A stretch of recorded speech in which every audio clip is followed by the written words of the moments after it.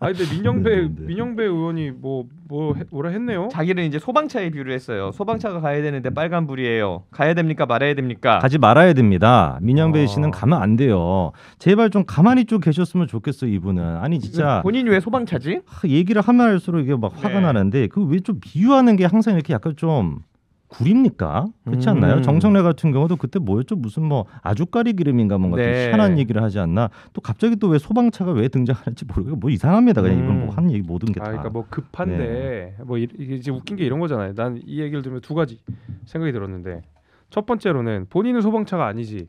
소방차는 불을 끌어 가지만 이 사람은 불 질러러 갔으니까. 그렇죠, 네. 그렇죠. 방화범이시 방화범이시기 때문에 네, 네, 이건 네. 소- 본인을 소방차로 비유하신 거면 잘못 비유하신 거고요. 진짜 민주당은 소방차가 맞는데 진작에 어. 해체됐어야 되는데. 그리고 그 빨간 불이라는 거 자체가 제가 보는 네. 생각이 가지 말란 소리잖아요. 음. 아니, 본인이 가지 않아야 되는데도 불구하고 갔다는 걸 자임한 거라고 생각해요. 위법이라고 네. 했던 것을 본인 스스로 자임한 거라고 생각해요. 그래서 어, 소방차도 아니고요.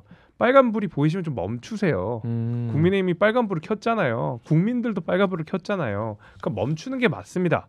그 본인은 소방차 아닙니다. 네. 네. 그 물이 나와야 되는데 돈 봉투가 나오는데 거기는 그러니까. 장롱에도 막 돈이 있고.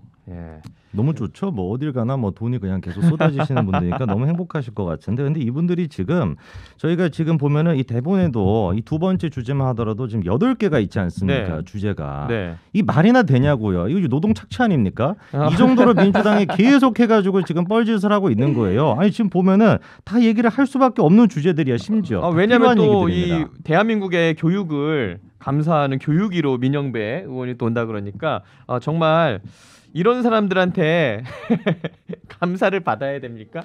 울프레 마틴님도 민영배 소방차례니까 화재 현장에서 도망가는 소방차 이렇게 남겨주셨고